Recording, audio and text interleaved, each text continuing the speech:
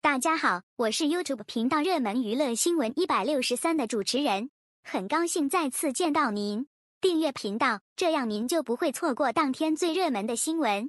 这是今天的新闻：王一博即将官宣新代言，集四大服饰品牌于一身，实现大满贯，直奔主题。最近，王一博即将成为太平鸟全球代言人的物料释出。看到后不禁感慨一句：“酷盖不愧是你啊！”不得不说，王一博可谓是当下实现四大服饰类品牌大满贯的一位了，时尚潮流的风向标了。首先，不得不说高奢品牌形象大使 Chanel 给了王一博一个唯一、一个没去总部就认领的存在。王一博算是带飞了小香风的热度，这个资源的定位超级符合王一博的个性化时尚审美，他成功把高奢带入了大众服饰搭配中。更让自己的风格越发凸显出来。酷盖当之无愧的时尚 icon，再次就是潮流品牌福神 Avisu。不得不说，潮牌选择王一博，实属太符合了。超爱他家的定位水准，把王一博的潮酷一面呈现的淋漓尽致，彰显了自我风格，更带飞了一个联名款 Palace，可谓是实现了双赢的一个局面。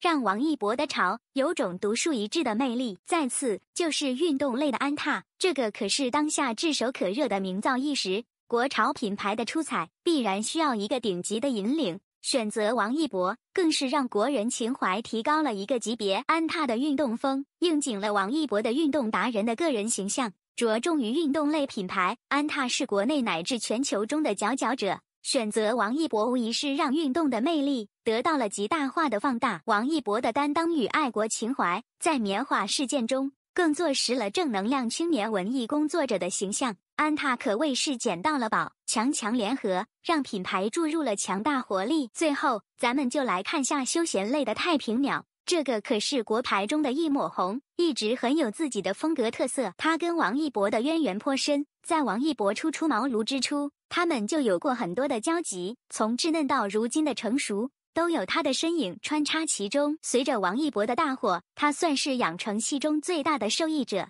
随着国内品牌的崛起，他能够成功拿下王一博这个代言人，着实让人看好他的未来。最近物料的放出，看来这波合作带来的响应更是非常具有市场竞争力。话说他一直不温不火，能否在官宣王一博后成功拿下休闲类的市场首席？值得观望一下。回到王一博这里，王一博的商业价值可谓是一骑绝尘。纵观当下的代言，这个半壁江山都被其承包了。品牌代言给的 title 诚意满满，并且纵观王一博的代言实力强劲。且不说大品牌的选择，从服饰类，我们就不难看出，都是个顶个的行业巨头。四大服饰类，高奢的 Chanel，潮牌的 Avisu，运动的安踏，休闲的太平鸟。